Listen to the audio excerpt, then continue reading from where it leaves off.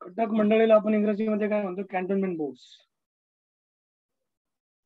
Cantonment board म्हणजे काय? पूर्ण जो मिलिटरी एरिया असतो सिटी मधला त्याला आपण कॅन्टोनमेंट बोर्ड म्हणतो.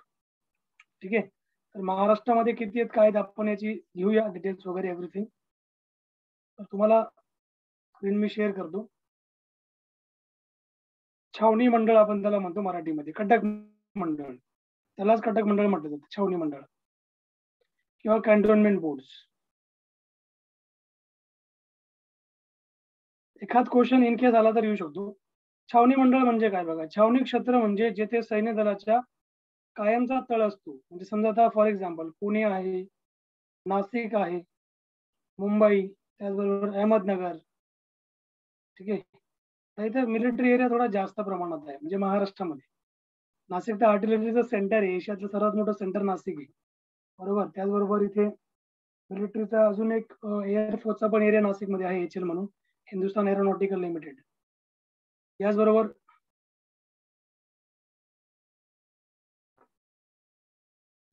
त्यानंतर मग सैन्यदलाचा कायमचा तळ जो असतो हा याचा परमनंट तळ आपण याला म्हणतो. ते परमनंट राहणार.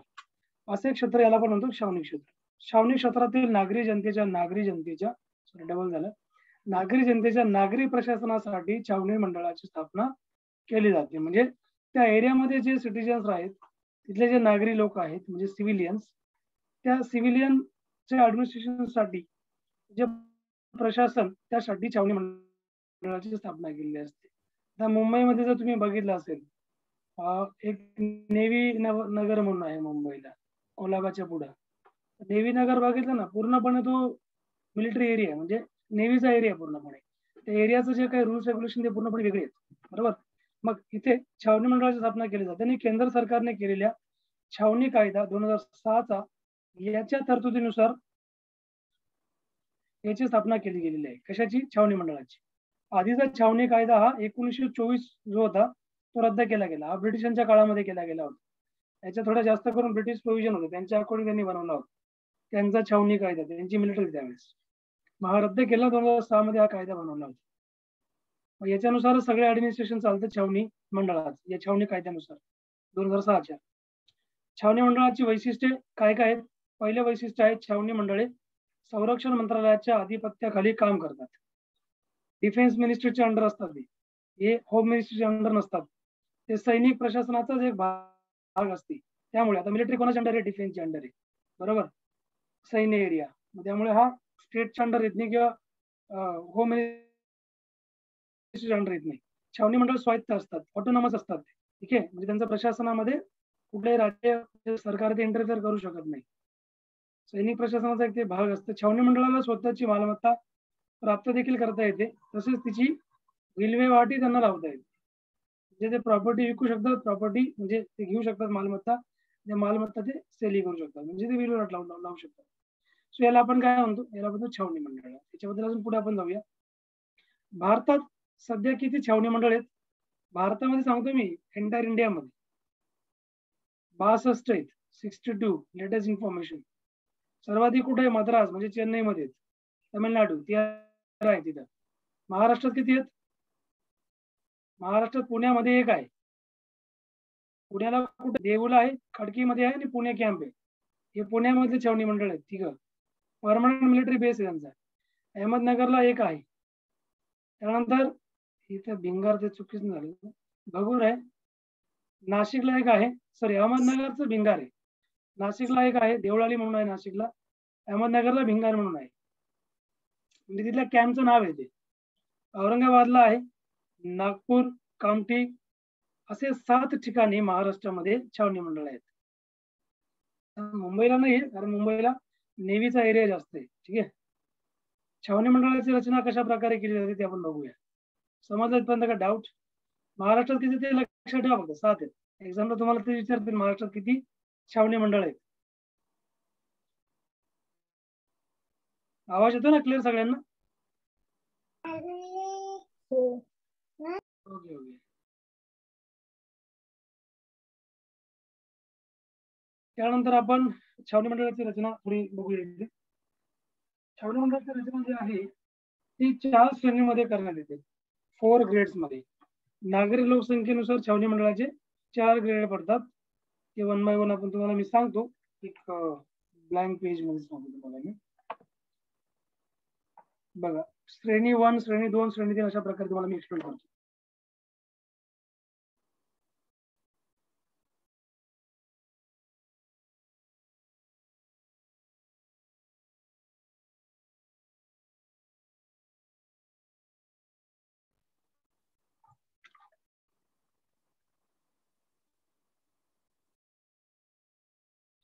आता छावणी मंडळाची जी रचना आहे ते किती श्रेणीमध्ये? चार ग्रेड्समध्ये आहे. याच्यामध्ये पहिलं बघा पहिल्या श्रेणी. ग्रेड याला आपण इंग्रजीमध्ये म्हणतो. ठीक आहे प्रथम श्रेणी. नंतर द्वितीय श्रेणी आहे. त्यानंतर तृतीय श्रेणी. आणि चतुर्थ श्रेणी.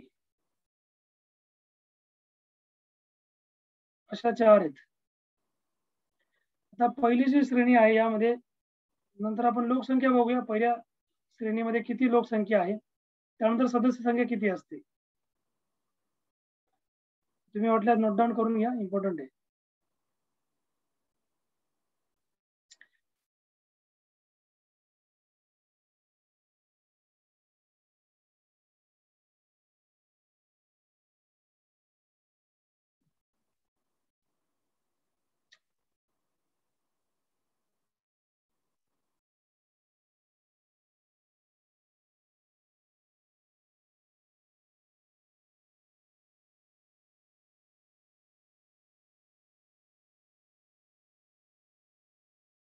ठीक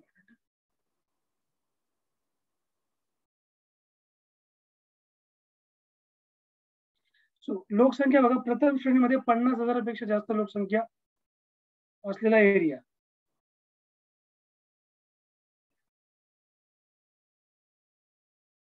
पन्नास हजार आहे पन्नास नाही. पन्नास हजारापेक्षा जास्त लोकसंख्या. दुसऱ्यामध्ये दहा हजार ते पन्नास हजार.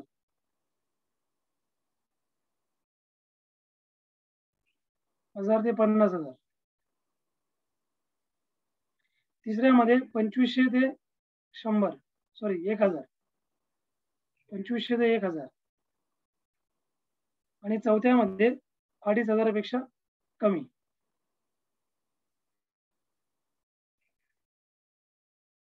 त्यानंतर सदस्य संख्या किती असणार बघा.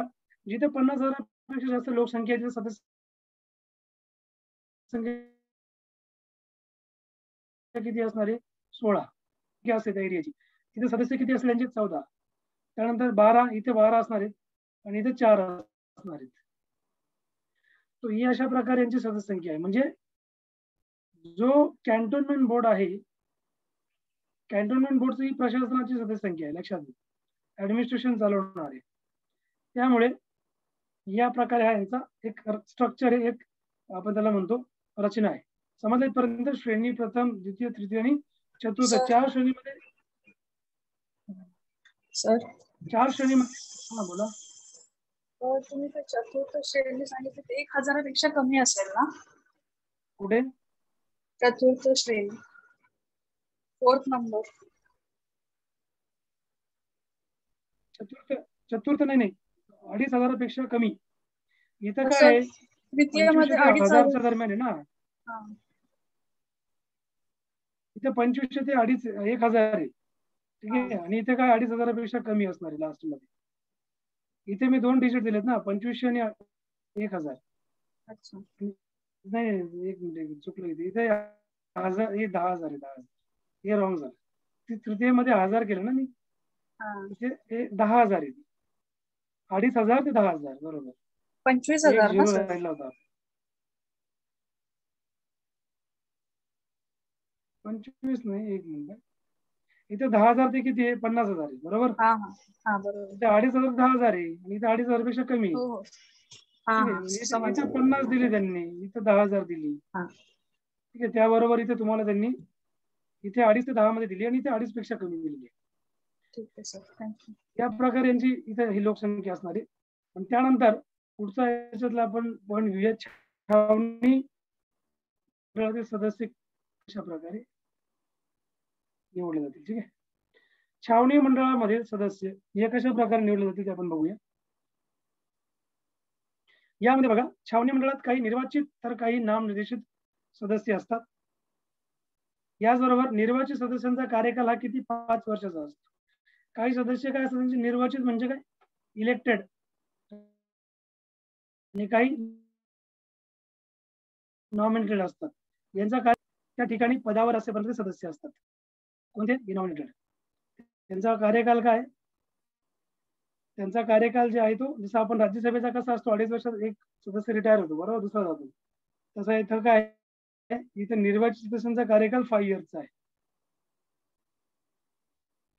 नामनिर्देशित सदस्यांचा त्या ठिकाणी जोपर्यंत पदावर असेपर्यंत सदस्य ते असतात. निर्वाचित सदस्य आपला राजीनामा कोणाकडे देतात? अध्यक्षांकडे. त्यांचा जो अध्यक्ष असतो छावणी बरखास्त करण्याचा अधिकार कोणाला आहे? केंद्र सरकारला आहे. कारण ते डिफेन्स मिनिस्ट्रीच्या अंडर येतं ना ते राज्याच्या अंडर नाही आहे नंतर पुढचा याच्यामध्ये आपण पाहून घेऊया. तो म्हणजे वर्ग एकच्या छावणी मंडळात खालील सदस्य असतात. यामध्ये कोणते कोणते असतात? नंबर वन त्या ठिकाणचा मुख्य सैनिक अधिकारी. नंबर दोन छावणीतील आरोग्य अधिकारी. नंबर तीन छावणीतील आरोग्य अधिकारी. हे डबल झालं. हा हा रिपोर्ट झाला आपला. दोनच या हा. तीन चार आणि पाच. त्याचबरोबर जिल्हा न्यायाधीशांनी नामनिर्देशित वर्ग एकचा न्यायाधीश छावणी क्षेत्रातील जनतेने निवडलेले आठ सदस्य आणि छावणी मंडळाचा मुख्य कार्यकारी अधिकारी. सो मुख्य सैनिकी अधिकाऱ्याने नामनिर्देशित केलेले तीन सैनिकी अधिकारी.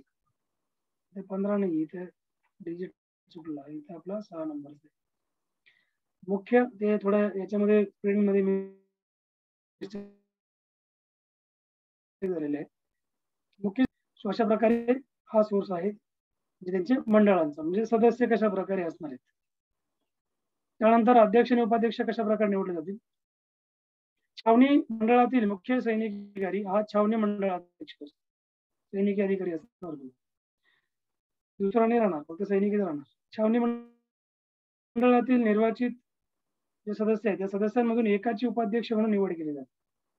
आणि उपाध्यक्ष हा अध्यक्षाकडे राजीनामा देतो. छावणी मंडळाची उत्पन्नाची साधने काय असतात?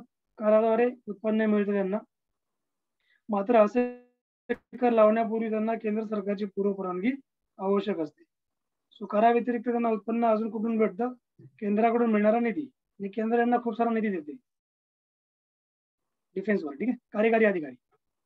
राष्ट्रपती छावणी मंडळाच्या कार्यकारी अधिकाऱ्याची नियुक्ती करतात. स्वतः राष्ट्रपती करतात.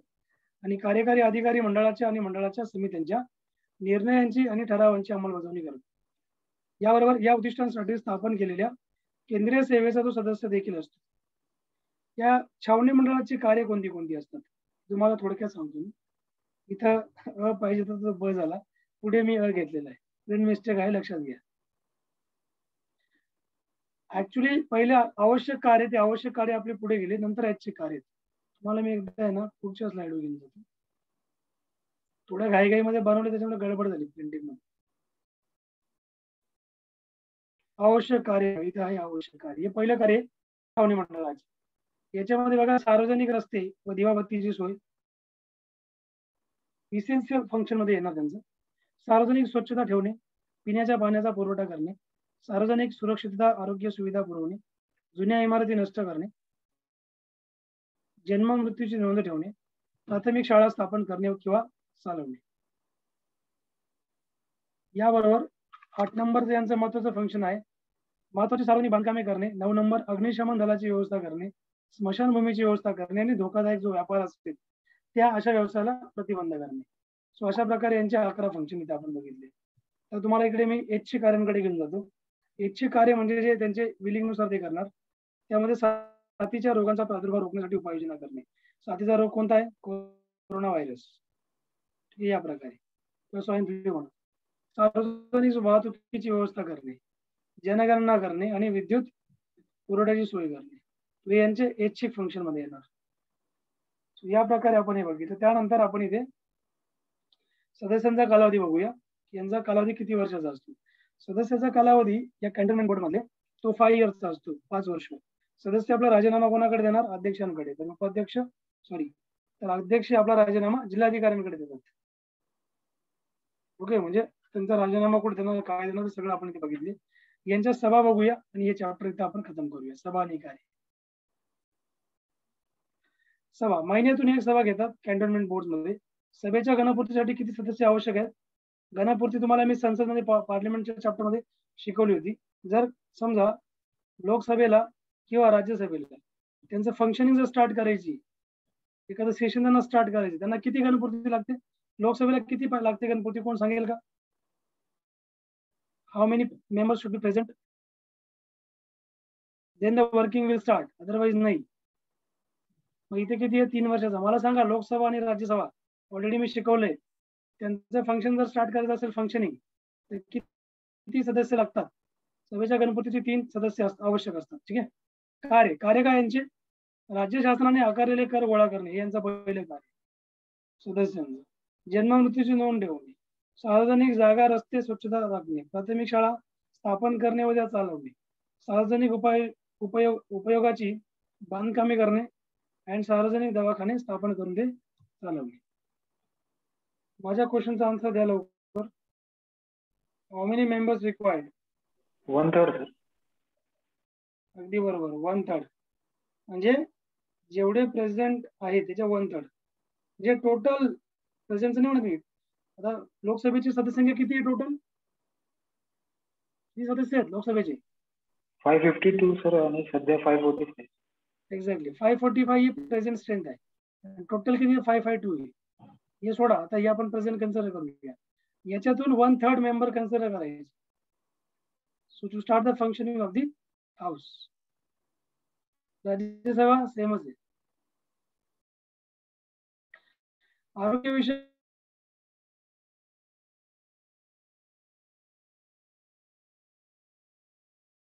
उपाययोजना करणे हे देखील यांचं काम आहे. त्यानंतर व्यवस्था करणे म्हणजे सदस्यांचं काम आणि कॅन्टोनमेंट बोर्डचं काम काही वेगळं सेमच आहे. शासनाच्या आदेशानुसार इतर कामे करणे. तर अशा प्रकारे आपण हे फंक्शन डिस्कस केलं.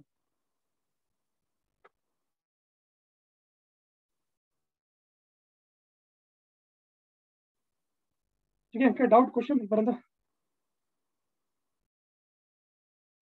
महाराष्ट्रामध्ये किती आहेत कटकमध्ये कन्फ्युज झालं.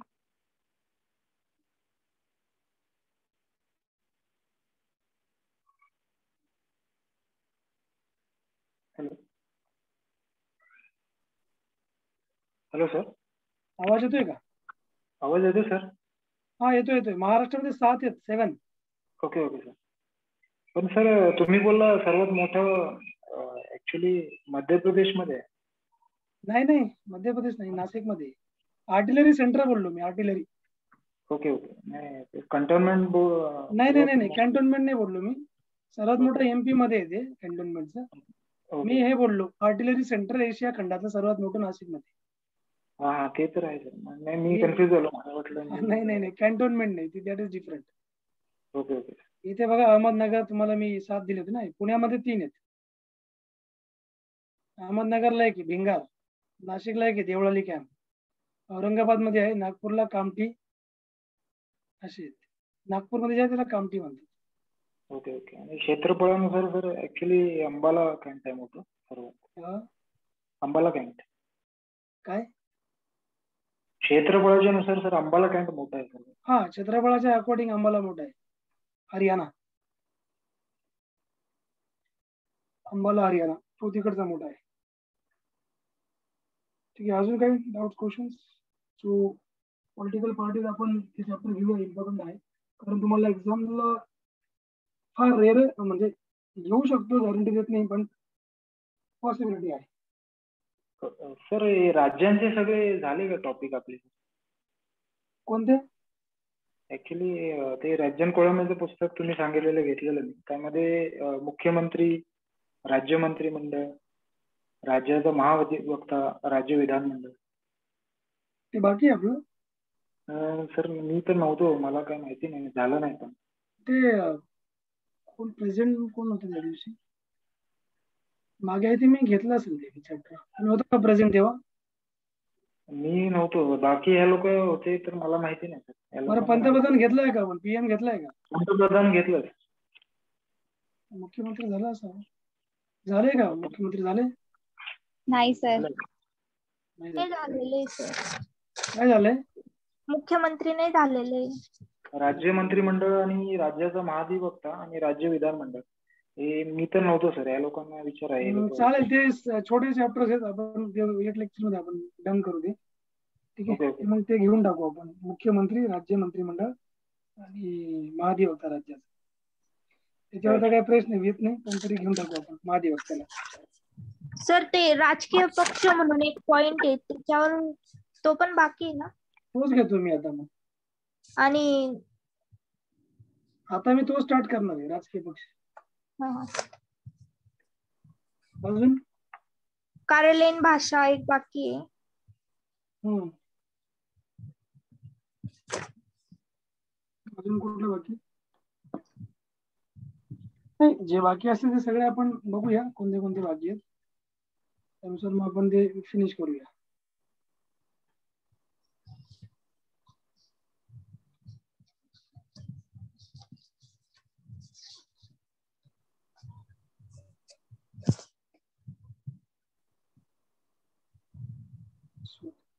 पॉलिटिकल पार्टीज मला सांगा माझा एक बेसिक क्वेश्चन तुम्हाला आहे. सध्या भारतामध्ये नॅशनल पार्टीज किती होती?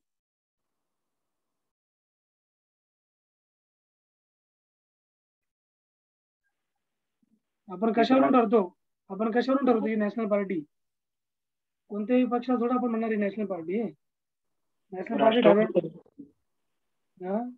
राष्ट्रवादी काँग्रेस. आणि काँग्रेस. नॅशनल पार्टीज देशातल्या कुठल्या आहेत? बघा पार्टीचे प्रकार आहेत. National party state party regional parties ठीक आहे असा दर्जा त्यांना दर्जा त्यांना दिला जातो. बट सध्या आता भारतामध्ये किती नॅशनल पार्टीज तुम्हाला या चॅप्टरमध्ये मी ती लिस्ट देणारच आहे पुढे. सांगा बरं. जनरलमध्ये नंबर सांगा मला की ह्या पार्टीज नॅशनल पार्टीज एक सर भाजप आहे ना?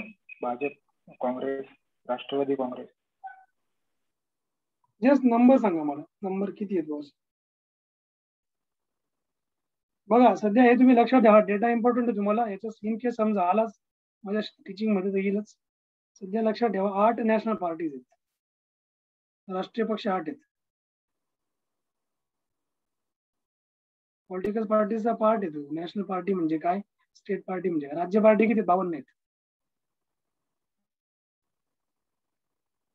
राज्य पक्ष म्हणा राजकीय राज्य पक्ष. हे बावन्न आहेत.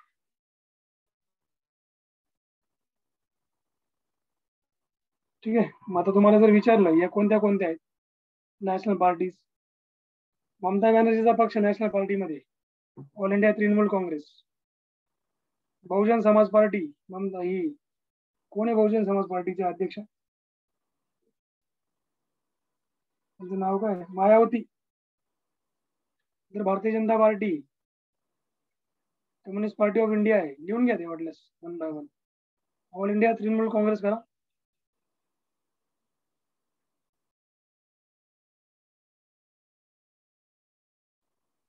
तृणमूल काँग्रेस. त्यानंतर दुसरं आहे बसपा. बीएसपी करा. बहुजन समाज पार्टी मायावती. त्यांचे हेड चीफ कोण? तेही माहिती पाहिजे बरं का बाकी त्यांचं काय आयडिओलॉजीची गरज नाही आपल्याला. त्यांचा हेड माहिती पाहिजे कोण आहे? बीजेपी बीजेपी तर नॅशनल पार्टी आहे. जसं बीजेपीचा फाउंडरच कोण होता? श्यामा मुखर्जी होते बरोबर? नंतर मग अटल बिहारी वाजपेयी नंतर एल के अडवाणी हे तीन आता सध्या बीजेपीचे अध्यक्ष जगत प्रकाश नड्डा आहे नड्डा जे पी नड्डा. त्यांची गरज नाही आपल्याला फक्त नॅशनल पार्टीची नावं घ्या. Communist Party of India CPI CPI Yechury त्यांचं नाव ऐकून असाल. सीताराम याचुरी म्हणतो आपण त्यांना. दोन सीपीआय लक्षात घ्या. एक याचुरीची आहे सीताराम याचुरी. बघा सीपीआय दोन आहेत. ही जी आहे ही सीपीआय दुसरी आहे ती पण सीपीआय काय फरक आहे दोघांमध्ये? सांगता येईल का? याला सीपीआयएम म्हणतात. म्हणजे कम्युनिस्ट मार्क्सिझम दोघांमध्ये कम्युनिस्ट मार्क्सिझम आहे.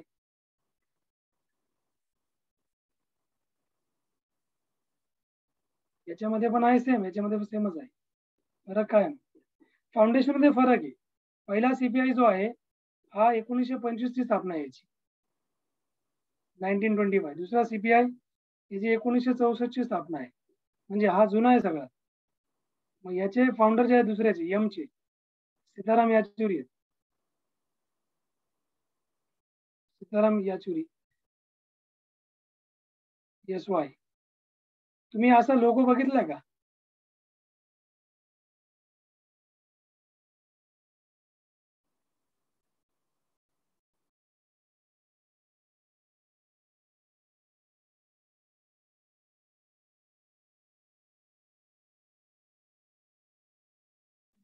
असा सर, बघितलाय का? ज्या पार्टीज आहे ती याचुरींची party Sitaram Yechury CPI M. केरळमध्ये यांचंच गव्हर्नमेंट आहे सध्या. त्यानंतर Indian National Congress I N C Congress National People party NPP तुम्ही म्हणा नॅशनल ही जी पार्टी पीपल्स पार्टी एनपीपी ही कोणाची पार्टी पी ए संगमाची पार्टी आहे. कोंडाड संगमा. माहिती आहे ना पी ए संगमा कोण आहेत? कोणत्या राज्याचे मुख्यमंत्री सध्या ते? संगमा. तामिळनाडू. संगमा संगमा तामिळनाडू कसं काय? संग संगमा फेमस नाव आहे ते. सध्या आता तो बीजेपीला जॉईन झालेला आहे. पहिले काँग्रेसमध्ये होता. कॉन्रॅड संगमा. मेघालय. मेघालयचे मुख्यमंत्री आहेत त्यानंतर पुढचं घ्या. Nationalist Congress Party Nationalist Congress Party माहिती ना शरद पवार. एनसीपी टोटल आठ पार्टीज़ आहेत All India Trinamool Congress Baspa CPI CPI M या चार इंडियन नॅशनल काँग्रेस पाच बीजेपी सहा एनपीपी सात आणि एनसीपी आठ बाकी स्टेट पार्टीज़ खूप आहे त्यांच्या लिस्ट घ्यायची गरज नाही स्टेट पार्टी पार्टीमध्ये Aam Aadmi party All India Forward Bloc आहे त्यानंतर खूप इशू जनता दल आहे ओडिसावाल्यांची बोडोलँड पीपल्स फ्रंट आहे इतक्या खूप सारे नाव आहेत. इंडियन नॅशनल लोकदल आहे. ठीक आहे चॅप्टरला सुरुवात करूया. आठ नावं तुम्हाला हे लक्षात ठेवा. नॅशनल पार्टी मिळण्याचा दर्जा काय असतो हे तुम्हाला माहिती पाहिजे. कोणत्याही पार्टीला नॅशनल पार्टीचा दर्जा भेटतो का? नाही भेटत. त्यासाठी काही टर्म्स कंडिशन असतात. त्या कुठल्या कुठल्या असतात हे आपण बघूया. राजकीय पक्ष हे एक समान राजकीय दृष्टिकोन असलेल्या आणि एक घटनात्मक मार्गाने राजकीय सत्ता मिळवण्याचा प्रयत्न करणाऱ्या राष्ट्रीय एकात्मतेला आपण चालना देण्यासाठी कार्य करण्याची इच्छा असलेल्या व्यक्तींनी स्वइच्छेने बनवलेल्या संस्था किंवा एक संघटित केलेले गट असतात. यामध्ये चार प्रकारचे राजकीय पक्ष आपण म्हणतो. ठीक आहे? जसं सध्या किती आठ आहेत पण एक ज्यांची जी आयडिओलॉजी म्हणतो ना आपण आधुनिक लोकशाहीमध्ये चार प्रकारचे राजकीय पक्ष असतात आधुनिक लोकशाहीमध्ये. Four types of political parties पहिली कोणती? पहिली असते ती म्हणजे जुन्या सामाजिक आर्थिक व राजकीय संस्थांना चिपटून राहणारे प्रतिगामी पक्ष असतात. जुन्या सामाजिक आर्थिक व राजकीय संस्थांना चिपटून राहणारे काँग्रेस. बरोबर? दुसरं असते त्या परिस्थितीवर विश्वास ठेवणारा पुरा पुराणमत्वादी आपण त्याला म्हणतो. ही त्याच्यामध्ये असते आयडिओलॉजी तिसरी असते सध्याच्या संस्थात बदल घडवण्याचे उद्दिष्ट असलेले उदारमतवादी पक्ष. कोण आले मग बीजेपी. ठीक आहे त्यानंतर सध्याच्या संस्था उलथून टाकून सॉरी हे बीजेपी आहे. सध्याच्या संस्था उलथून टाकून त्या जागी नवी व्यवस्था स्थापन करण्याचे उद्दिष्ट असलेला पुरोगामी पक्ष. चार नंबर बीजेपी. ठीक आहे लक्षात ठेवा. तो अशा प्रकारे वैचारिक दृष्ट्या म्हणजे भारताला मिळालेले दोन्ही पक्ष एक प्रकारे म्हणतो ना बीजेपी आणि काँग्रेस कलंक आहेत दोन्ही पक्ष. एक नाही दोन्ही म्हणतो मी. दिली त्याला दिली त्याने म्हटलं. काम करायचं कोणी? तिसरा पार्टी नाहीच आहे दुसरी.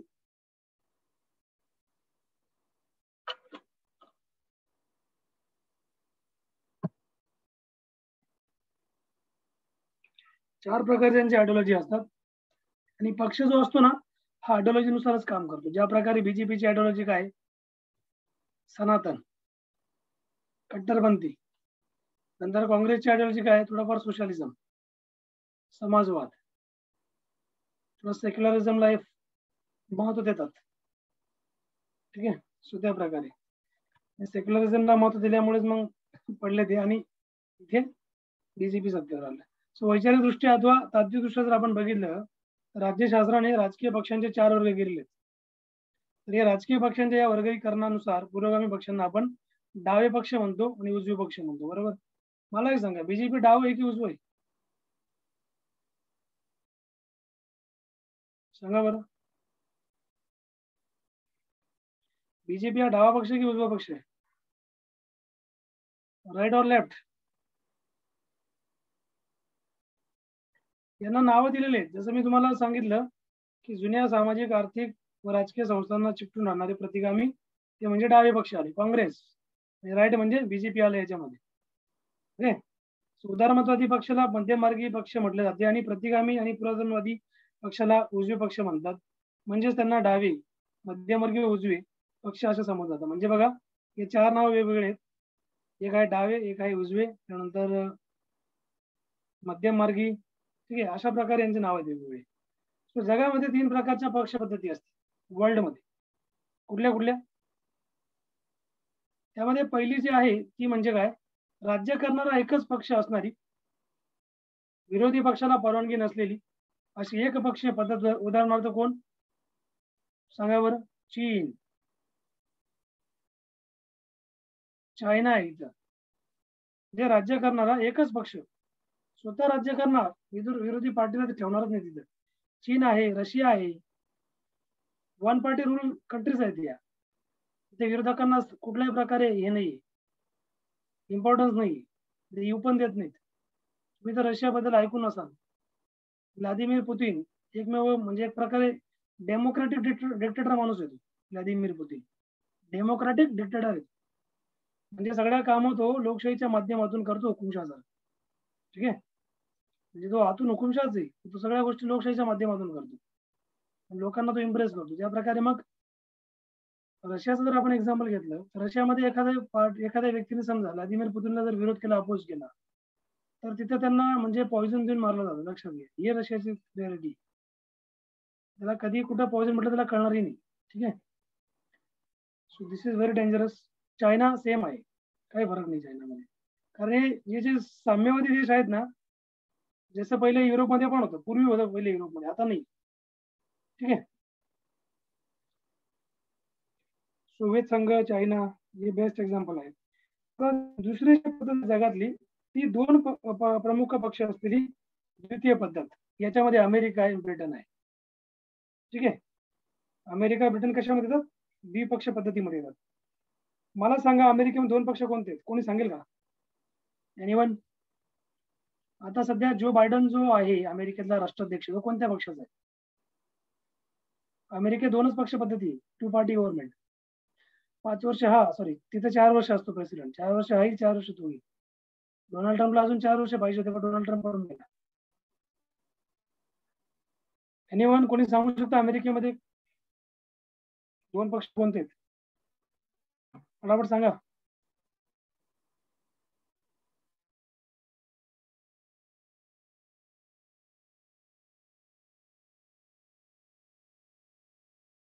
विश्वनाथ सर प्रज्वल. प्रतिभा मॅडम प्रियंका. श्रद्धा श्रद्धा त्यानंतर सुप्रिया स्वाती मॅडम सांगा लवकर. अमेरिकेमध्ये दोन पक्ष आहेत. एक आहे रिपब्लिक दुसरा आहे डेमोक्रॅट.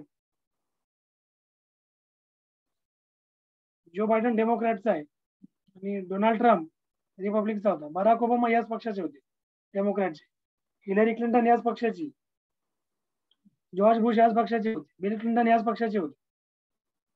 म्हणजे जास्त करून जे राष्ट्राध्यक्ष अमेरिकेचे बनलेले ते डेमोक्रॅटचे बनलेले यांचे काहीतरी बनलेले आहेत. यांचा नाईन्टीन नाईन्टी सेव्हनला फक्त एक होता. त्यानंतर डोनाल्ड ट्रम्प आला होता. After long time. सत्ता परिवर्तन झालं अमेरिकेमध्ये. त्यांना सत्ता देऊन चूक केली अमेरिकेने चार वर्ष.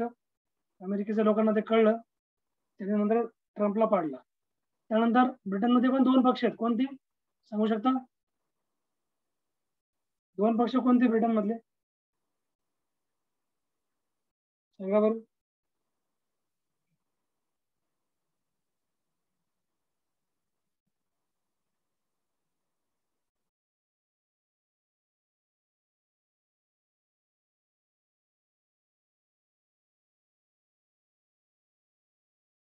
सांगा लवकर. ते आहेत कॉन्झर्वेटिव्ह पार्टी आणि लेबर पार्टी. जास्त करून प्राईम मिनिस्टर लेबर पार्टीचा असतो. सध्याचे जे आता प्राईम मिनिस्टर आहे त्यांचं नाव काय? ब्रिटनचे सांगा. आन्सर करत नाही फटाफट.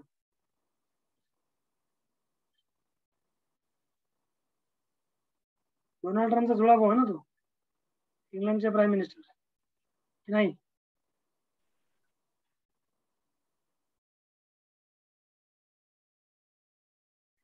Boris Johnson. Donald Donald Trump सारखा दिसतं बघा ते. ठीक आहे या अकॉर्डिंग हे यांचे पीएम आहेत. दोन पार्टीज आहेत कोणत्या कोणत्या? कॉन्झर्वेटिव्ह पार्टी ब्रिटनमध्ये आणि लेबर पार्टी अमेरिकेमध्ये डेमोक्रॅट आहे आणि रिपब्लिक आहे. ठीक आहे अशा प्रकारे या जगातील पक्ष दोन पार्टी गव्हर्नमेंट आहेत कुठले अमेरिका आणि ब्रिटन. त्यानंतर तिसरी जी राजकीय पक्ष म्हणजे जी पद्धत आहे तिसऱ्या प्रकारची पद्धत पक्ष पद्धत ती आहे अनेक राजकीय पक्ष असलेला देश. ज्यामध्ये इंग्लंड आहे सॉरी इंग्लंड नाही. भारत आहे फ्रान्स स्वित्झर्लंड आणि इटली युती सरकार. ठीक आहे? म्हणजे अनेक पक्ष पद्धत असल्यामुळे युती सरकार तिथे बनते तर या प्रकारे आपण या तीन पक्ष पद्धती बघितल्या. त्यानंतर भारतातली पक्ष पद्धती जी आहे ती आपण आता डिस्कस करूया भारतामध्ये बहुपक्ष पद्धती आहे.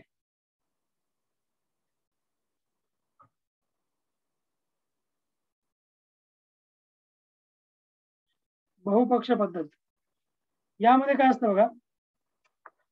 देशाचा आपला देशाचा जो उपखंडीय जो आकार आहे भारतीय समाजातील विविध सार्वत्रिक प्रौढ मताधिकारांचा स्वीकार करणे किंवा राजकीय प्रक्रियेची विशिष्ट पद्धत किंवा इतर जे काही घटक असतात यामुळे देशामध्ये अनेक राजकीय पक्ष काय असतात उदयाला येतात. तर भारतामध्ये राजकीय पक्ष का उदयाला आले? Because India is a diverse country इंडियामध्ये खूप साऱ्या कास्ट रिलिजन्स वेगवेगळ्या राज्यातले वेगवेगळ्या प्रकारचे लोक ठीक आहे? त्यामुळे पण भारतामध्ये खूप सारे राजकीय पक्ष आहेत. प्रत्येक कॅटेगरीचा राजकीय पक्ष बघा तुम्ही भारतामध्ये. सो या कारणास्तव मग आपल्याकडे बहुपक्ष पद्धत आहे. म्हणजे प्रत्येक पक्ष काय करतो? आपल्या आपल्या कास्टची बाजू मांडण्याचा प्रयत्न करतो. ठीक आहे? आपल्या कास्टवर अन्याय होऊ नये त्यामुळे ते लोक पक्ष स्थापन करतात. म्हणजे कोणताही असो. ठीक आहे? जसं आता बसपा आहे. बहुजन समाज पार्टी. त्यानंतर कॉन्डॅट संगमाचा पक्ष. सो असे खूप सारे पक्ष आहेत तिथे. भारतामध्ये. सो भारतामध्ये जगातील सर्वात जास्त राजकीय पक्ष आहेत. सगळ्यात जास्त. तर तुम्ही जर बघितलं भारतामध्ये एकूण सध्या आता जर आपण बघितलं सोळावी लोकसभेनुसार भारतामध्ये किती? सहा राष्ट्रीय पक्ष होते. आता मला सांगा लोकसभा किती लोकसभा आहे? पंतप्रधान प्राईम मिनिस्टर मोदी कोणत्या लोकसभा किती लोकसभेचे पीएम आहेत? पंधरा सोळा सतरा अठरा हा? किती म्हटले? सोळा सोळा.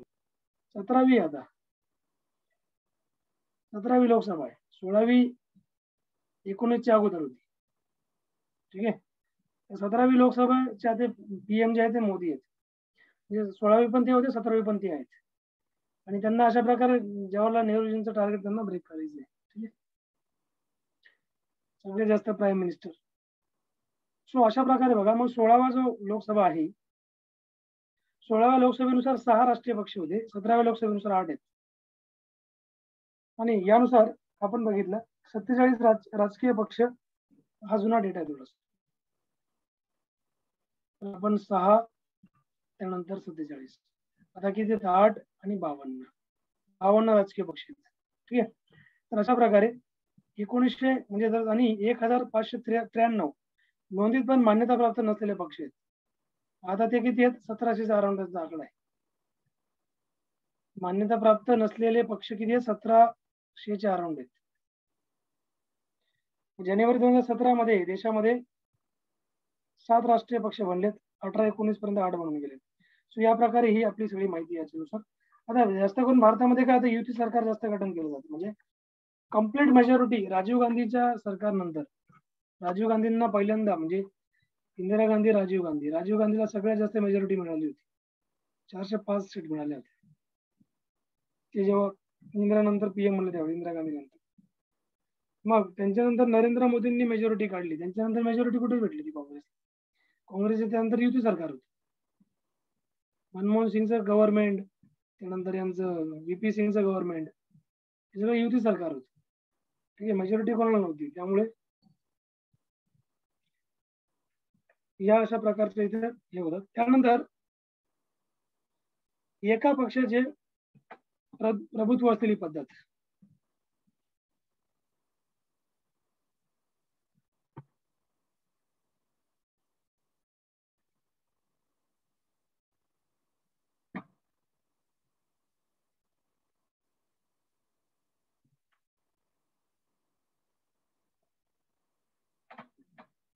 एका पक्षाचे प्रभुत्व असलेली पद्धत.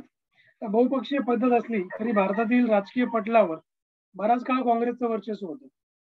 तुम्ही बघितलं असेल हे वर्चस्व काँग्रेसचं नाईन्टीन फोर्टी फिफ्टी वनपासून स्टार्ट झालं. जवळपास काँग्रेसचं वर्चस्व किती होतं?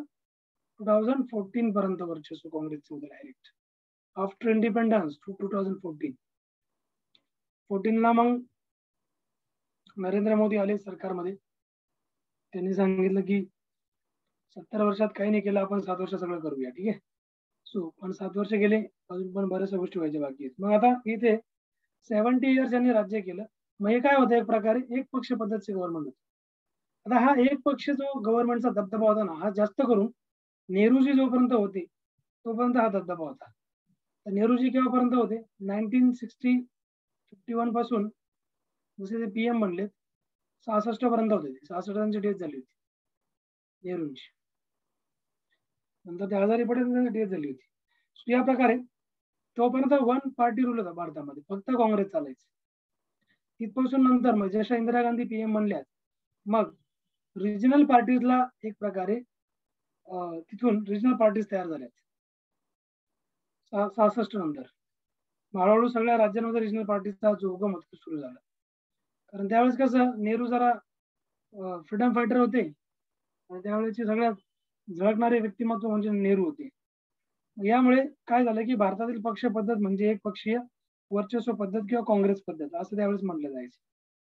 आणि असं रजनी कोठारी यांनी त्यांच्या राजकीय विश्लेषणामध्ये असं उल्लेख पण केला होता की एक पक्षीय वर्चस्व म्हणजे काय? काँग्रेस पद्धत. सो प्रादेशिक पक्षांचे आणि जनता पक्ष जो होता नाईन्टीन सेव्हन्टी सेव्हनला जनता पक्षाची स्थापना केली गेली. मोरारजी देसाईने केली होती. नंतर एकोणीसशे एकोणनव्वदमध्ये जनता दल आला. एकोणनव्वद जनता दल. आणि एकोणीसशे एक्क्याण्णवमध्ये बीजेपीची स्थापना केली गेली. श्यामाप्रसाद मुखर्जी. सो अशा राष्ट्रीय पक्षांच्या उदयामुळे काँग्रेसचे वर्चस्व कमी होऊ लागलं.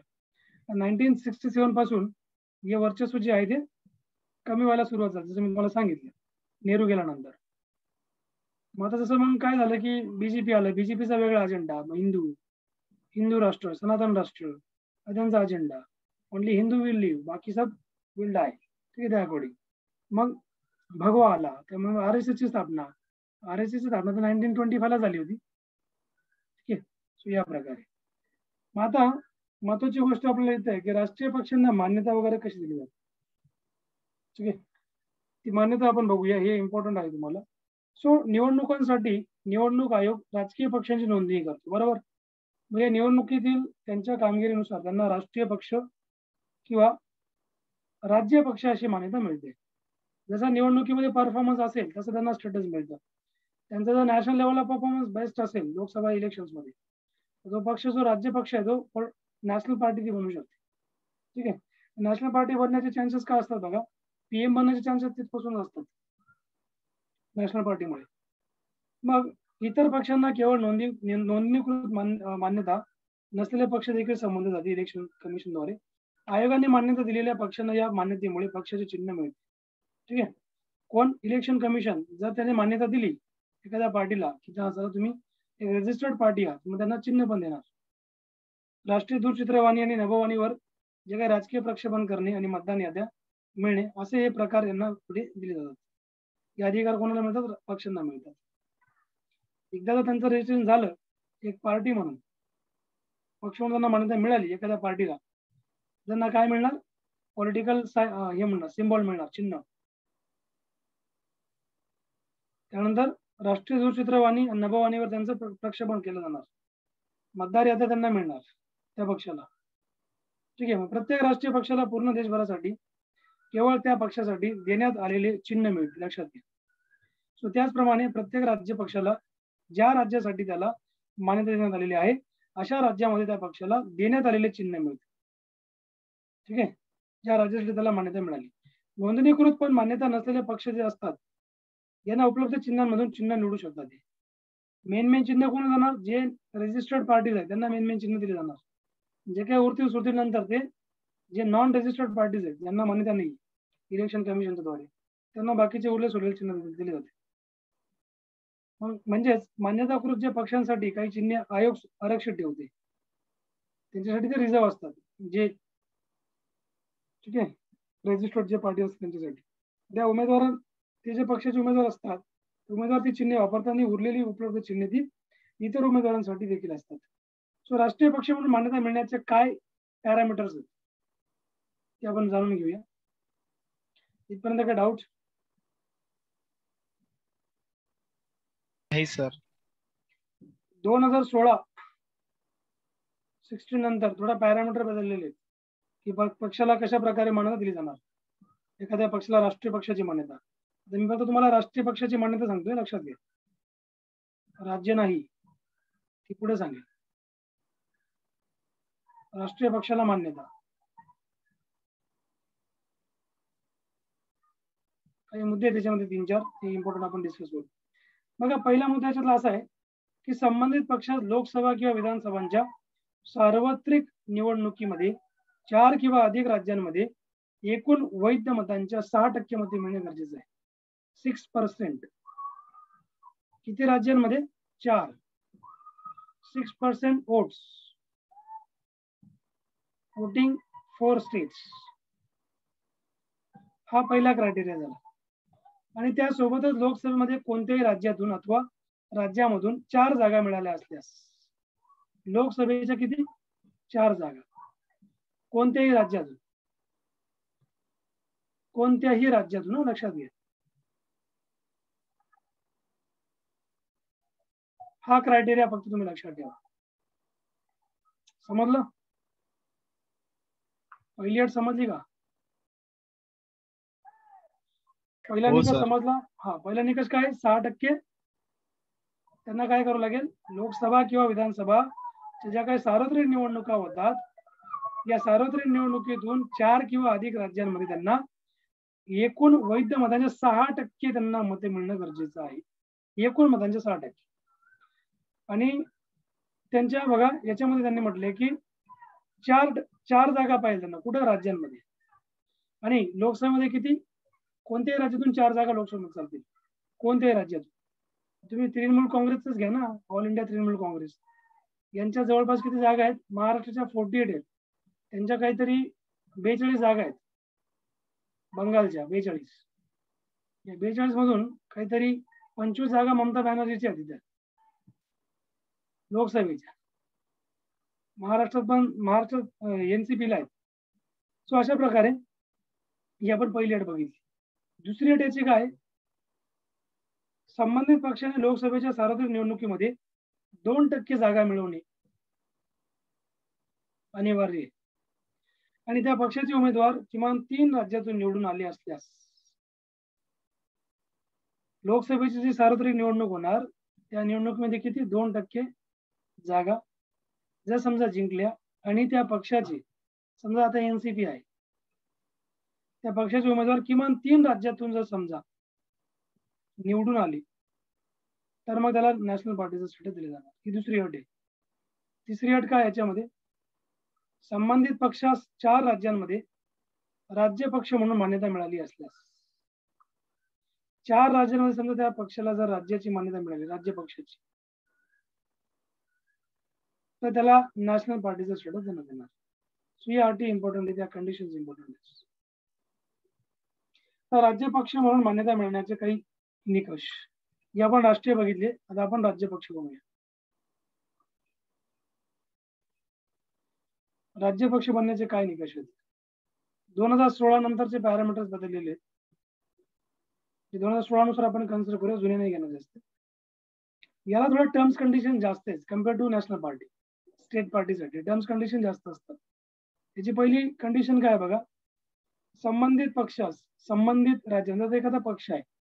फॉर एक्झाम्पल शिवसेना किंवा यांचा कोणता पक्ष? मनसे. मनसे आहे. मग समजा संबंधित एखादा तो पक्ष असेल तर संबंधित राज्याच्या म्हणजे एखाद्या राज्याशी तो बिलॉंग करतो. म्हणजे समजा महाराष्ट्र. त्या राज्याच्या विधानसभेच्या सार्वत्रिक निवडणुकीत राज्यातील टोटल मतांच्या सहा टक्के मध्ये त्यांना मिळाली पाहिजे. वैध मते म्हणजे टोटलमध्ये सहा टक्के. कुठं? स्टेट असेंब्लीच्या इलेक्शनमध्ये लोकसभा नाही.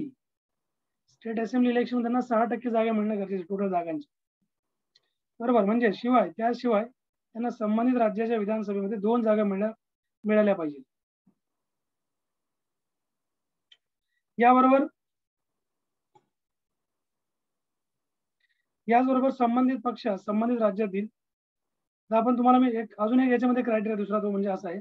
की लोकसभेच्या सार्वत्रिक निवडणुकीमध्ये संबंधित पक्षास संबंधित राज्यातील सहा टक्के जागा मिळाल्यास त्याला तो स्टेटस मिळतो. बरोबर? दुसरी अट अशी याची अशी आहे त्याशिवाय संबंधित राज्यातून लोकसभेत त्याला एक जागा मिळाली असल्यास एक जागा मिळाली पाहिजे. सहा टक्के त्यांना टोटल सीटांच्या सहा टक्के सीट त्याला मिळणं गरजेचं आहे. समजा महाराष्ट्रामध्ये दोनशे अठ्ठ्याऐंशी जागा विधानसभेची त्याच्यातून त्याला सहा टक्के मिळणं गरजेचं आहे. सहा टक्के जागा मग तुम्ही करून घ्या सहा टक्के किती जागा त्याला मिळतील. ठीक आहे?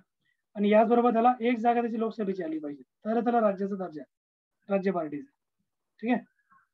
अजून एक अट याच्यामध्ये की म्हणजे बघा जो संबंधित पक्ष आहे त्या पक्षास किंवा संबंधित राज्यातील विधानसभेच्या सार्वत्रिक निवडणुकीमध्ये विधानसभेत तीन टक्के जागा किंवा तीन जागा यापैकी त्या कोणत्या अधिक असतील तितक्या जागा जर त्याला मिळाल्या तर त्याला स्टेट राज्याचं दर्जा मिळून जाईल. त्यानंतर संबंधित राज्यातील लोकसभेच्या सार्वत्रिक निवडणुकीमध्ये त्या राज्याला देण्यात आलेल्या लोकसभेतील जागांपैकी दर ट्वेंटी फाय पंचवीस किंवा त्याच्या भागांपैकी एक जागा संबंधित पक्षाने जिंकले असल्यास. त्यानंतर पाचवी पाचवा निकष याच्यामध्ये काय? पाचवी अट.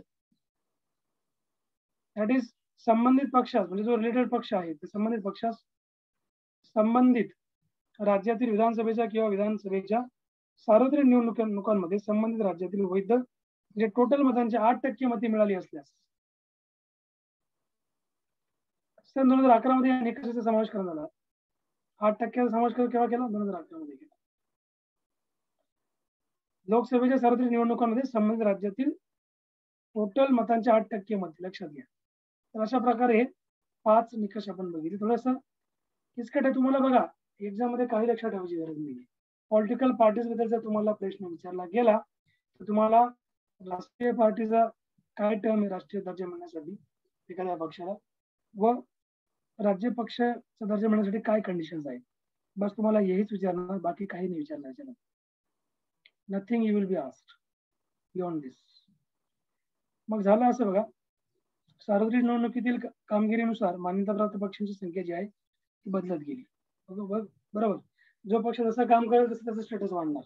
तसं पहिले बीजेपीचं काही स्टेटस नव्हतं. नंतर आज कुठं गेला बीजेपी सगळ्यात मोठा पक्ष बीजेपी आज भारतातला. आणि काँग्रेस आज कुठंच नाहीये. जसं दोन हजार चौदा मध्ये सोळाव्या लोकसभेच्या निवडणुका होताना देशात सहा राष्ट्रीय पक्ष होते.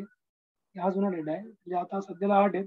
बावन्न राजकीय पक्ष आहेत. सतराशे पेक्षा जास्त स्टेट पार्टीज आहेत. सॉरी नॉन रेजिस्टर्ड पार्टीज अन्य. तर या प्रकारे आपण हा चॅप्टर घेतला. बाकी याच्यातला डेटा तुम्हाला बुकमध्ये मिळून जाईल सगळा. चार्ट वगैरे काय असतील ते. क्लिअर काय डाऊट क्वेश्चन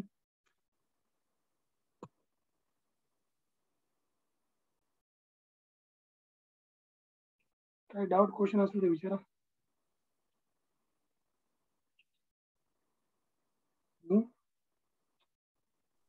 नाही सर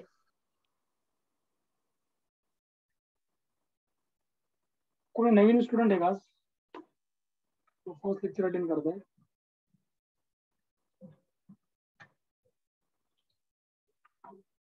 नावांमध्ये बघू द्या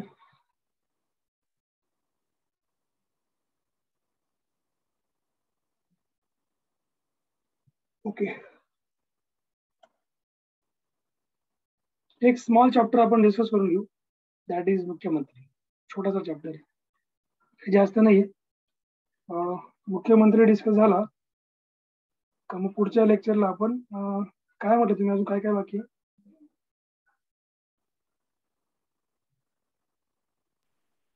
सर राज्य मंत्रिमंडळ आणि राज्य विधानमंडळ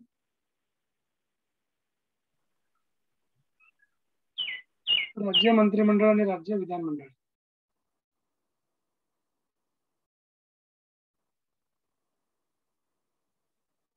ओके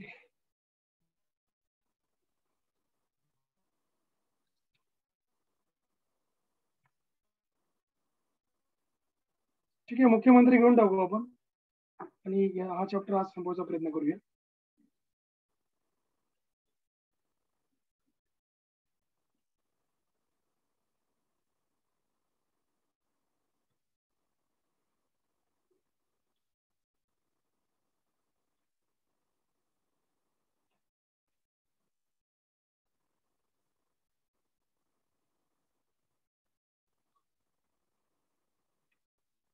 मुख्यमंत्र्याशी संबंधित आर्टिकल वाचलं मुख्यमंत्री अगोदर which article is related to मुख्यमंत्री?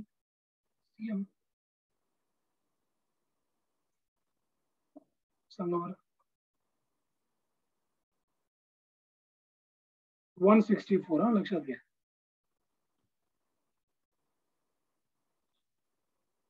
मुख्यमंत्री.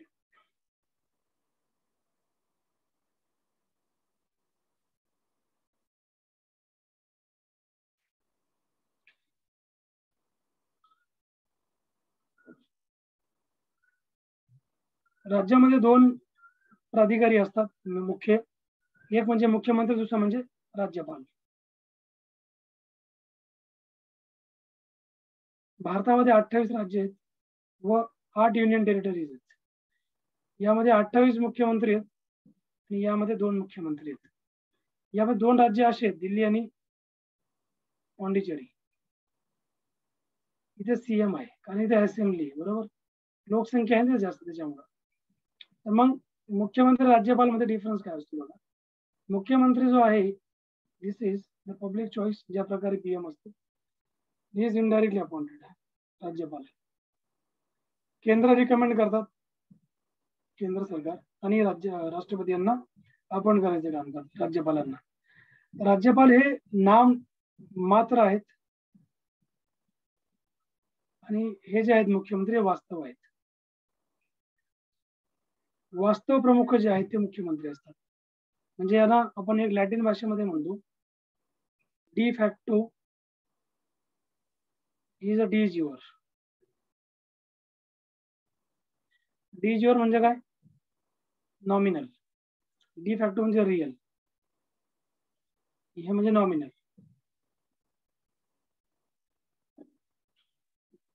मुख्यमंत्र्याचं इलेक्शन असतं, राज्यपालला इलेक्शन नाही राहत. ठीक आहे? ज्या प्रकारे राष्ट्रपतींना पण इलेक्शन असते राज्यपालला मात्र नाही राहत. तर हे तुम्ही समजून घ्या. महाराष्ट्राचे राज्यपाल कोण आहे? कोणी सांगेल? कोश्यारी. कोशियार. बरोबर. फेमस नाव आहे. ठीक आहे महाराष्ट्रातला. सो मुख्यमंत्री राज्यपाल मध्ये आपण हा फरक बघितला की मुख्यमंत्री is elected by the public public directly involved in the election of CM चला तर आता आपण यांच्याबद्दल जाणून घेऊया. बघा कलम वन सिक्स्टी फोरमध्ये काय म्हटलेलं आहे? एकच फक्त लाईन याच्यामध्ये आहे या याच्यामध्ये की राज्यपाल जे आहे ते मुख्यमंत्र्यांची नियुक्ती करणार करणार under article one sixty four एवढंच म्हटलेलं आहे. So nothing is beyond this परंतु राज्यपाल कोणालाही मुख्यमंत्री नियुक्त करू शकतो असा त्याचा अर्थ होत नाही लक्षात घ्या. जे वन सिक्स्टी नुसार सिक्स्टी फोरनुसार काय करतात राज्यपाल? मुख्यमंत्र्याची नियुक्ती करतात. मग भारतामध्ये काय चालतं? भारतामध्ये बहुपक्षीय पद्धती आहे, बरोबर? मेजॉरिटी पार्टी रूल चालतो आपल्याकडे मेजॉरिटी ज्याची ज्या पार्टीची मेजॉरिटी आहे त्या पार्टीच्या व्यक्तीला राज्यपाल काय करतात? मुख्यमंत्री म्हणून अपॉइंट करतात. किंवा मग त्यांना शपथ घ्यायला बोलवतात भारतामध्ये खूप वेळा राज्यपाल यांची कॉन्ट्रावर्सी झालेली आहे. ठीक आहे या पदावरून. जी या डिसिजनवरून तसं कर्नाटकमध्ये झाली होती ज्या प्रकारे याच्यात झाली महाराष्ट्र झाली होती. पहिले अजित पवार देवेंद्र फडणवीस झाले ते शपथ घ्यायला. ठीक आहे. त्यानंतर त्यांनी एक दिवसाचा मुख्यमंत्री झाले नंतर लगेच दुसऱ्या दिवशी दोन तीन दिवसात ते सरकार पडले. कारण ते मेजॉरिटी पूर्ण करू शकले. ठीक आहे अशा प्रकारे. तर मग संसदीय शासन प्रणालीच्या संकेतांप्रमाणे जर आपण बघितलं राज्यपालाने राज्य विधानसभेत बहुमत असलेल्या पक्षालाच त्यांनी मुख्यमंत्री पदावर नियुक्त करणं गरजेचं आहे. ज्याच्याकडे बहुमत त्याला त्यांनी बोलवणं गरजेचं आहे. परंतु विधानसभेत कोणत्याच पक्षाला समजा क्लिअर मेजॉरिटी नसेल सुस्पष्ट बहुमत नसेल तेव्हा राज्यपाल काय करणार? राज्यपाल तेव्हा त्यांचा विवेकाधिकारचा यूज करणार डिस्क्रिशनरी पॉवरचा वापर करणार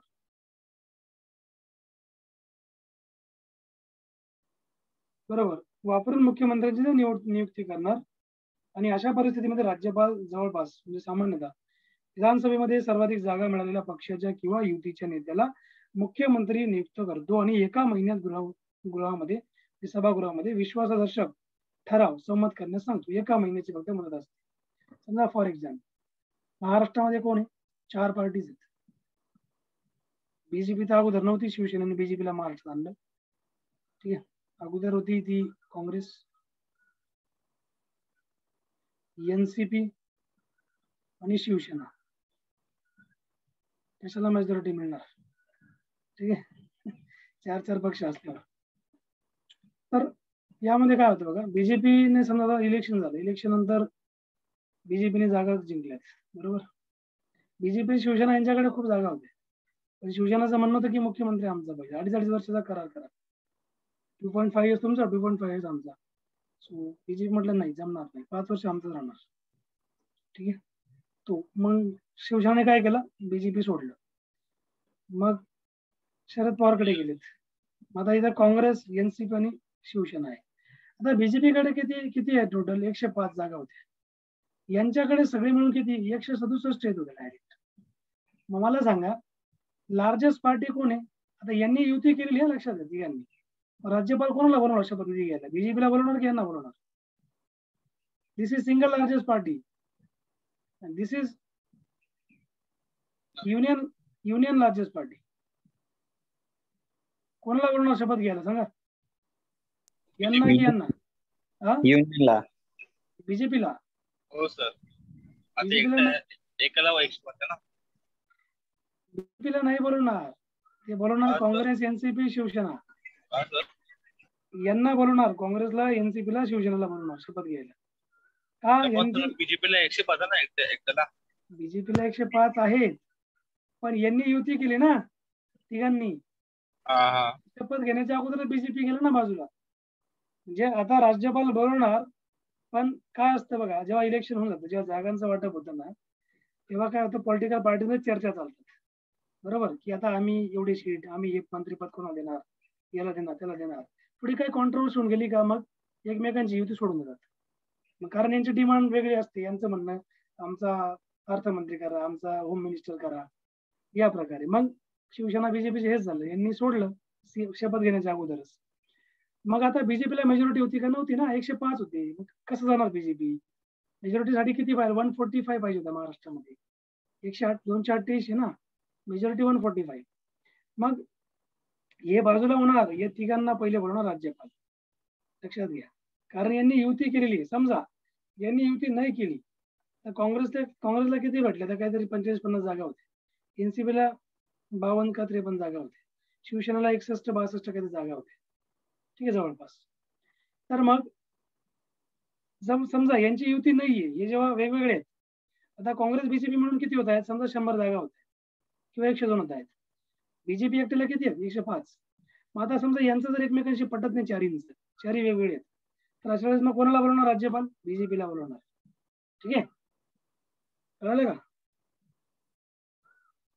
इथे युती नाहीये चारी सेपरेट आहेत. कळालं प्रियंका? येस सर या प्रकारे मग इथे बीजेपीला बोलवणार कारण बीजेपी कडे किती जागा आहेत? एकशे पाच जागा आहेत. यांच्याकडे दोघे मिळून एकशे दोन होत आहेत. जर हे नाही प्रूव्ह करू शकले मेजॉरिटी तर मग यांना बोलवणार. या तुम्ही. यांनी काय केलं? शिवसेनेला या आमच्यासोबत. तुम्हाला आम्ही चांगली चांगली पद्धत डायरेक्ट मुख्यमंत्री तुमचा करतो आम्ही. शिवसेना गेलं मग यांच्याकडे जाणार ना ऑफिस आहे. पॉलिटिक्समध्ये स्वार्थ महत्त्वाचा म्हणजे त्यांच्या ते त्यांचा स्वार्थ बघतात. त्यांना काय करायचं बीजेपी संघी त्यांना जर मुख्यमंत्री पद भेटते काय बीजेपी संघ जाणार? शिवसेनावाले. त्यांचा मतलब बघतील ना. हे यांचं मतलब बघत होते बीजेपी वाले की आमचा मुख्यमंत्री पाच वर्ष. मग काही हे मतलब बघणार नाही. बरोबर? मग यामुळे काय होईल? मग अशा प्रकारे यांचं मेजॉरिटी झाली. मग त्या प्रकारे राज्यपालांना बोलवणार. सो इथपर्यंत तुम्हाला हे क्लिअर झालं. चला. आता पुढे. जे समजा एकशे पाच ला बोलून घेतलं त्याला सांगितलं बाबा तू तीस दिवसाच्या आत काय कर आता? तुझी मेजॉरिटी प्रूव्ह कर. तू आता वरून जे तुझे चाळीस जागा आहेत ना त्या कुठून घेऊन ये. पण तू प्रूव्ह कर. नाही प्रूव्ह केलं तर तू पडशील. आणि मग आम्ही दुसऱ्याला बोलवणार अशा पद्धतीसाठी. ठीक आहे? सो विदिन वन मंथ त्याला मेजॉरिटी प्रूव्ह करतो. जेव्हा विद्यमान मुख्यमंत्र्याचे आकस्मिक निधन होतं समजा एखाद्या मुख्यमंत्र्याचं एखाद्या व्यक्ती मुख्यमंत्री पदावर आहे. सडन डेथ झाली. कोणी स्पष्ट उत्तराधिकारी नसतो. अशा वेळेस मग राज्यपाल काय करतात? त्या सिच्युएशनचं योग्य ते ऑब्झर्वेशन करणार आणि मग त्यानंतर मुख्यमंत्र्याची निवड नियुक्ती करतात. सडन डेथ समजा एखाद्या मुख्यमंत्री झाली. जसं जगनमोहन रेड्डीचे वडील हेलिकॉप्टर ब्लास्टमध्ये मेले होते हेलिकॉप्टरच्या ऍक्सिडेंटमध्ये. तर ते सीएम होते आंध्र प्रदेशचे. सडन डेथ झाली मग त्यावेळेस कन्फ्युजन होते कोणला सीएम म्हणून त्यावेळेस राज्यपाल आपली डिस्क्रिप्शनरी पॉवरचा वापर करणार परंतु अशा वेळेस काय असतं? काही कंडिशन असतात? मुख्यमंत्र्याच्या निधनानंतरचा जे सामान्यतः जे सत्तारूढ पक्ष आहे नव्या नेत्याची निवड करतो आणि त्याला मुख्यमंत्रीपदी नियुक्त करण्याशिवाय राज्यपालाला पर्याय नसतो. जो आता रुलिंग पार्टीचा आहे रुलिंग पार्टीवाला काय करेल मग? चला आमचा मग आता नेता ते गेला.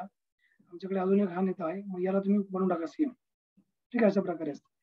सो मुख्यमंत्रीपदी नियुक्त होण्यापूर्वी त्याने विधानसभेत बहुमत सिद्ध केले पाहिजे. मुख्यमंत्रीपदी नियुक्त होण्याच्या अगोदर त्याला बहुमत सिद्ध करावं लागतं. आणि असे राज्यघटनेमध्ये म्हटलेलं नाहीये परंतु हा एक ऍक्ट ऑफ पार्लमेंट आहे. सो राज्यपाल अगोदर काय करणार? मुख्यमंत्र्याची नियुक्त करू शकतो व त्यानंतर योग्य कालावधीसाठी विधानसभेत बहुमत सिद्ध करण्यास सांगू शकतो. बरोबर? म्हणजे असे बऱ्याच वेळ करणारेले आहे. की पहिले तुम्ही मुख्यमंत्री बनून जा नंतरचा आपण नंतर पाहू. पहिले तुम्ही मुख्यमंत्री शपथ घ्या. ठीक आहे? जे काय मेजॉरिटी असेल तुम्ही पुढे करत बसा नंतर नाही केली तर चालते वा दुसरं आहे आमच्याकडे. अशा प्रकारे. कारण त्याला काय घेणं त्यांनी राज्यपालला? मेजॉरिटी नसेल तर जा निघा. असेल तर थांबा. यानंतर राज्य आपण राज्यपालचं इथे बघितलं की राज्य विधानमंडळाचा सदस्य नसलेल्या व्यक्तीस सहा महिन्यासाठी मुख्यमंत्रीपद नियुक्त करता येते. समजा एखादा व्यक्ती आमदार नाही ठीक आहे म्हणजे तो मेंबर ऑफ असेंब्ली नाहीये. एम एल ए नाहीये. मग अशी व्यक्ती मुख्यमंत्री बनणार का? यस अंतरा यस बनू शकते. जसं मी तुम्हाला बोललो ना एखादी पीएम शिकवलं तेव्हा एखादी व्यक्ती जर समजा लोकसभा सदस्य खासदार नाही जो राज्यसभेचाही खासदार नाही ती व्यक्ती पीएम बनणार का? उत्तर आहे यस बनणार. मग त्याला विदिन सिक्स मंथ त्याला राज्यसभेतून निवडून दिलं जातं. राज्यसभेत त्याला निवडून दिलं जातं. तसंच याला पण केलं जातं. ठीक आहे? विदिन सिक्स मंथ्स निवडून द्यावं लागणार. एक जागा द्यावं लागणार. एक जागा खाली करून त्याला निवडून द्यावं लागेल पोट निवडणूक करून निवडून द्यावं लागतं. मात्र त्या कालावधीमध्ये तो मंत्री विधिमंडळात निवडून येणे आवश्यक आहे. विदिन सहा महिने ठीक आहे? जर तसं झालं नाही तर मुख्यमंत्री पद त्याचं जाणार. राज्यघटनेनुसार मुख्यमंत्री विधानमंडळाच्या कोणत्याही गृहाचा सदस्य असू शकतो. विधान परिषदेचा असणार किंवा विधानसभेचा असणार. कोणत्याही दोन सभागृहाचा दोघांमधून कुठलाही एकाचा सदस्य राहू शकतो. जसं की मुख्यमंत्री हा कनिष्ठ गृहातून जवळपास असतो विधानसभेत. विधानसभा हे कनिष्ठ सभागृह आहे. विधान परिषद हे वरिष्ठ सभागृह आहे. परंतु अनेक वेळा वरिष्ठ गृहाचे जे काही सदस्य सदस्य सदस्याची सुद्धा मुख्यमंत्रीपदी नियुक्ती करण्यात येते बऱ्याच वेळा देखील. अशा प्रकारे आपण बघितलं हे मुख्यमंत्री. आता मुख्यमंत्र्यांचे काही कार्य वगैरे आहेत. शपथविधी काही घ्यायची गरज नाही शपथ तर माहितीच आहे. नरेंद्र दामोदर मोदी व पीएम ती पीएम ची आहे. मी Uddhav Balasaheb Thackeray whatever whatever पुढे म्हणणार. मी गुप्तपणे शपथ घेतो की भारताच्या राज्यघटनेशी खरी श्रद्धा व निष्ठा बाळगणार. भारताचे सार्वभौमत्व आणि अखंडच राखणार. राज्याचं प्रामाणिकपणे राज्यासाठी काम करणार. ठीक आहे? सो अशा प्रकारे. अधिकार कार्य काय आहेत? अधिकार कार्य सिंपल आहेत बघा. पहिला अधिकार मुख्यमंत्र्यांचा असा आहे. राज्यपाल केवळ मुख्यमंत्री शिफारस करील अशाच व्यक्तींना मंत्रीमध्ये मंत्रिपदामध्ये नेमू शकतात. म्हणजे उद्धव ठाकरे जेव्हा सांगेल राज्यपालांना की तुम्ही याला मंत्रिमंडळामध्ये निवडा. यांना हे पद द्या यांना हे पद द्या. तरच ते निवडणार. दुसरं कार्य असं आहे की तो मंत्र्यांमध्ये खात्यांचे वाटप करतो व त्यात फेरबदल करतो मुख्यमंत्री. पोर्टफोलिओमध्ये एक्सचेंज करतो मत म्हणजे मंत्री आता समजा शिक्षण पद याला दिलं. याच्याकडून काढलं कारण हा बरोबर काम करत नाही शिक्षण शिक्षण मंत्रालयामध्ये. याला काढलं दुसरा दिलं. दुसरा ठेवलं पण तिसरं लावलं. म्हणजे असे वेगळे खाते वाटप. मतभेद झाल्यास तो मंत्र्याला राजीनामा देण्यास सांगू शकतो. कुठला पण समजा एखादा मंत्री वगैरे असेल. त्याचा उद्धव साहेबांचा समजा पटत नसेल. जर आगोपणा करत असेल मंत्री तर मग त्याला सांगेल जा तुम्ही ठीक आहे मंत्रीपद खाली कर. त्याला काढून टाकावे अशी राज्यपालाला शिफारस ते करू शकतात आणि चार नंबरचं यांचं फंक्शन असं आहे की समजा तो मंत्रिमंडळाच्या बैठकांच्या अध्यक्षस्थानी असतो मुख्यमंत्री आणि मंत्रिमंडळाच्या निर्णयावर ते प्रभाव देखील पाडतात. पाच नंबरचा फंक्शन असं आहे की तो सर्व मंत्र्यांना त्यांच्या कामकाजात मार्गदर्शन करतो नियंत्रित करतो त्याबाबत आदेश देतो आणि समन्वय राखतो. सहा नंबरचं फंक्शन काय? पदाचा राजीनामा देऊ देऊन मंत्रिमंडळ ते पाडू शकतात आपल्या पदाचा राजीनामा देऊन. समजा उद्धव ठाकरेंनी असं डिसाईड केलं की मला रिझाईन करायचंय I don't want to be CM any more because many people blaming me ठीक आहे? खूप सारे लोक आरोप करतात समजा इन केस समजा त्यांना वाटलं की त्यांनी रिझाईन केलं त्यांच्यासोबत पूर्ण मंत्रिमंडळाचं रेजिग्नेशन होणार पूर्ण मंत्रिमंडळ पडू शकते. त्यामुळे मंत्रिमंडळाचा एक आधारस्तंभ म्हणजे सीएम असतात. ठीक आहे? मंत्रिमंडळाचा प्रमुख असल्याने त्यांच्या राजीनाम्याचे किंवा निधनाने मंत्रिमंडळ ऑटोमॅटिक विसर्जित होते. कारण ते प्रमुख असतात मंत्रिमंडळाचे. सीएम नाही तो मंत्रिमंडळ नाही. नया सीएम तो नया मंत्रिमंडळ. ठीक आहे? मात्र इतर कोणत्याही मंत्र्यांच्या राजीनाम्याने किंवा निधनाने असं होत नाही कधी की मंत्रिमंडळ पडलं. कारण एखाद्या मंत्र्याचं निधन झालं तर मंत्रिमंडळ थोडं पडणार आहे. जागा रिक्त होणार तिथे दुसरा मंत्री आपण गेला जाणार. एवढंच आहे. सो या प्रकारे आपण बघितलं आणि यानुसार इथं आपण मुख्यमंत्री एंड करता. बाकी याच्यामध्ये काही वेगळं नाहीये. त्यांचे बस अधिकारच आहेत वेगवेगळ्या प्रकारचे. डाऊट क्वेश्चन्स तर मुख्यमंत्री आमदार असला तरी बनेल. काय म्हटले? मुख्यमंत्री जे आहे ते आमदार मधून पण निवडलं जातं. हा आमदार असतात ना मुख्यमंत्री. आमदार नसेल तर सीएम पद भेटणार ना त्यांना.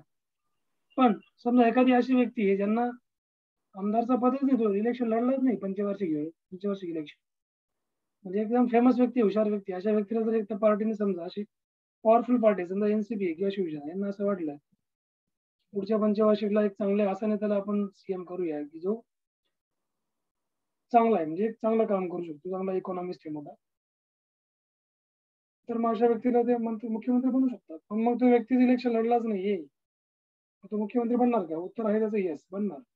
त्याला काय करणार ते? सहा महिन्याच्या आत त्याला आमदार बनवून टाकतील. सिक्स विदिन सिक्स मंथ्स एका जागा खाली करून टाकतील. त्या पोट निवडणुका करून टाकतील? त्याला तिथून निवडून आणतील ते. झालं त्यांचं पद पाच वर्ष त्यांच्याकडे राहणार. अजून काही?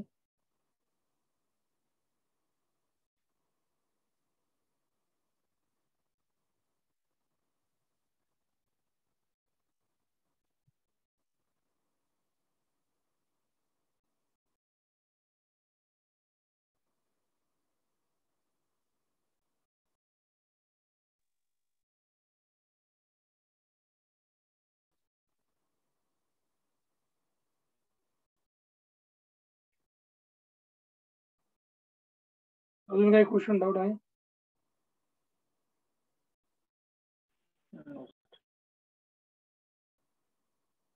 ठीक आहे, मग आजचा आपण क्लास थांबूया इथे. पुढच्या क्लासमध्ये आपण राज्य मंत्रिमंडळ डिस्कस करून घेऊ. अजून काही एक दोन चॅप्टर असतील, ते पण आपण घेण्याचा प्रयत्न करू आणि संपून आपण इकॉनॉमी स्टार्ट करूया, ठीक आहे?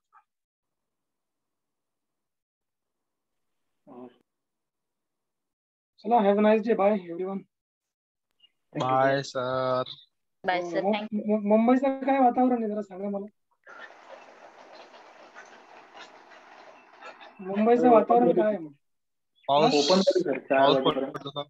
अरे पाऊस नाही म्हणत. मी कोरोनाचं वातावरण म्हणतोय चार वाजेपर्यंत. पाऊस तर आमच्याकडे पडतोय. हा? अं, सकाळी. अच्छा अच्छा. क्लासेसला परमिशन दिली का तिथे ऑफलाईनला ऑफलाईन अजून तर नाही सर कारण तिसऱ्या लाटेची तयारी होती ना म्हणून म्हटलं काही शक्य वाटत नाही मला यावर्षी होईल असं ऑफलाईन कारण आता अजून- की हा आता ऑनलाईन जर त्यांनी अनलॉक केलं ना तर पुन्हा पेशंट वाढायला सुरुवात होणार आहे. ते पुन्हा ते लॉकडाऊन लागतील पुन्हा हेच होणार ऑनलाईन मध्ये इंटरेस्टेड आहे. कारण ऑफलाईन मध्ये आम्हाला अजून रिस्क नाही घ्यायची. आणि ऑफलाईनला कसं आहे ना ऑफलाईनला मला तिथलं जमणार पण नाही शिकवायला यायला. तर मी ऑनलाईनच घेणार. हा. पण गावाला आलोय. हा गावाला आहे. हा बरोबर आहे. आणि काय नाही ऑनलाईन तुमचं कसं आहे माहितीये का? जोपर्यंत चालेल तोपर्यंत चालू आणि जेव्हा असं वाटलं तेव्हा मग करता येईल आपल्याला. आणि कसं आहे सगळे मुलं तुम्ही वेगळ्या एरियातले आहेत. बरोबर म्हणजे कोणी कुठून आहे कोणी कुठून म्हणजे असं एका जागेतले नाही आहेत ठाणे डोंबिवली सगळे आहेत. बोरिवली हो. त्यामुळे. सगळे एका प्लॅटफॉर्मवर हे जर वेगवेगळे केले तर स्टुडंट सेपरेट होऊन जातील हे.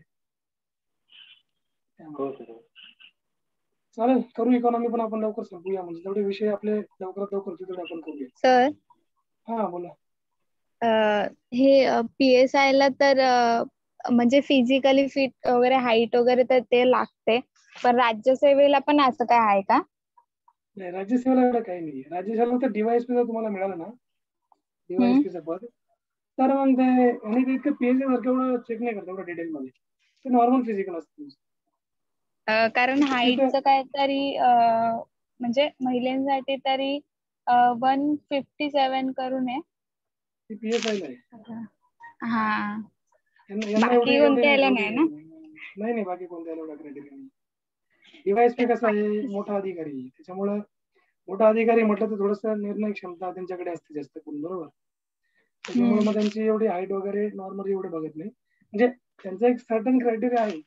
असं पण नाही की एकदमच म्हणजे कमरे एवढी हाईट असं पण एवढं पण नाही नाही तसं नाही. म्हणजे फिजिकली पण हा. फिट पाहिजे ना वगैरे असं पण. हा एक मिडियम हाईट फिजिकली फिट म्हणजे काय माहितीये का? याचा अर्थ असा नाही की तुमची हाईट जास्त आहे तुम्ही फिजिकली फिट आहात. फिजिकली फिट म्हणजे तुम्ही स्ट्रॉंग आहात आतून. म्हणजे तुम्हाला कुठला प्रॉब्लेम नाहीये फिजिकली कुठे दुखापत नाहीये. कुठे तुमचं इंजुरी नाहीये. ही फिजिकली फिट तुम्हाला एखादा म्हणजे आजार नाहीये. ही फिजिकली फिट हा तर माझ्या फ्रेंडनी पोलीसमध्ये ट्राय करते ना तर ती तिची हाईट कम आहे मग. किती हाईट त्यांची हाईट पाच पॉइंटपेक्षा पण कमी आहे. कुठे? पोलीसमध्ये कुठे करतायत इकडेच मुंबईला. आता म्हणजे ते नाही मला माहिती पण ट्राय तर करतात. कॉन्स्टेबलसाठी हा. करताय हो. नाही तिथं हाईट जास्त लागते ना. हा. कॉन्स्टेबलला क्रायटेरिया अवघड आहे फिजिकलचा थोडस पीएसआयपेक्षा पण.